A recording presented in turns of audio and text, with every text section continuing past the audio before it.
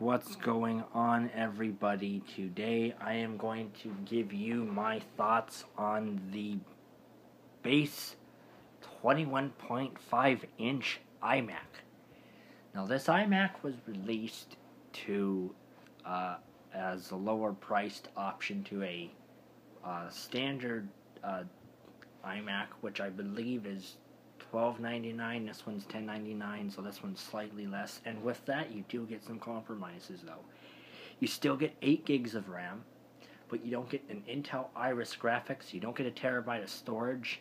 you get an HD Graphics 5000, and you get a slower processor at 1.4 gigahertz, and you get a 500 gigabyte hard drive. So you do get less, but that might be a good thing for most individuals uh, that want a very uh, cost-effective way to get a Mac aside from the Mac Mini.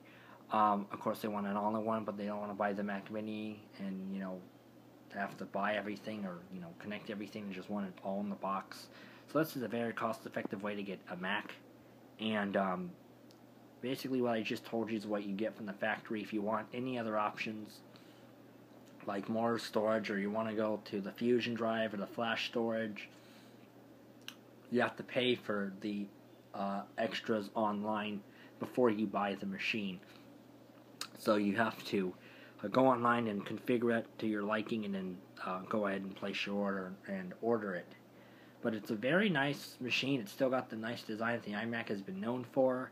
Um, it's definitely less powerful which for some people is okay, especially those that just, you know, they do their email, they'll surf the internet, they'll do stuff like that. They don't need, you know, a quad core processor, you know, Iris graphics, 16 gigs of RAM, a terabyte storage. They don't need any of that. They just want to buy a Mac, set it up, and use it. And that's what this model is primarily aimed at. And one of the reasons why I wasn't or never thought about buying a Mac in the first place is because I uh, wanted to wait for a low cost machine to come out. And sure enough, Apple brought that to us in the form of the 2014 21 inch iMac, the uh, budget kind of iMac. Uh, type of deal, but it's still a good computer for most people. It's something I would definitely pick up, of course, not without you know ordering the uh, 256 gigabyte a flash uh, storage uh, option, but I certainly would pick one of these up and uh, hell, have it for six, seven years. Have it until it goes obsolete and buy something else or however long. But um, definitely, it's worth a look.